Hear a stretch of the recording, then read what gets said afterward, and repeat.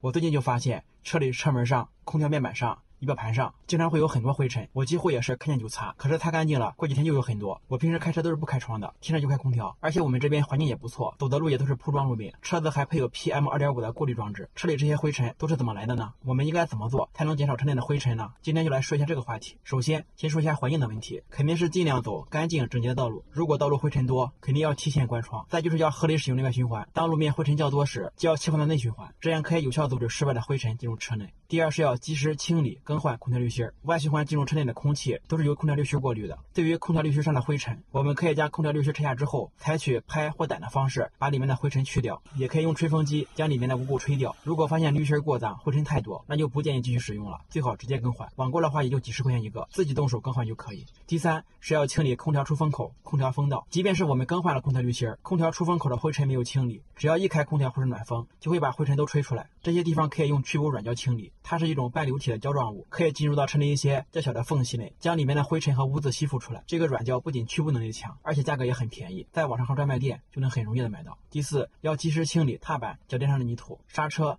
离合、油门踏板上，包括脚垫都是用脚踩的，鞋底肯定是不干净的，所以使用时间长了，难免会积累很多灰尘。雨天还有可能有大块泥土，泥土干了之后，在踩踏过程中就会形成大量灰尘。第五，要彻底清理车内的杂物和灰尘，主要是座椅下方。车门储物格以及角落缝隙里面的泥土，还有我们放入车内物品上的灰尘也要清理。